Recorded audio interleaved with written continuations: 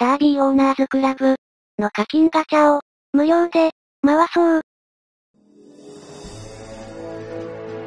課金ガチャを回すには、チャージポイントが必須です。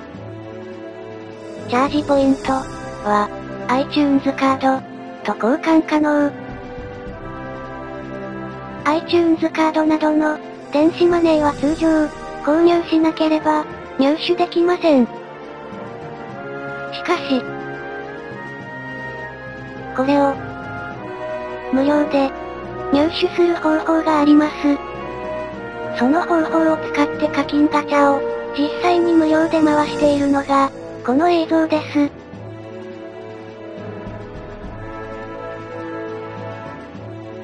こちらは同じく iPhone のゲーム、パズルドラゴンズの課金ガチャですが、他の iPhone のゲームはもちろん、Android、モバゲー、グリー、アメーバ、ミクシー、すべての課金アイテムに使えます。詳しい方法は QR コード。もしくは動画説明の URL から、どうぞ。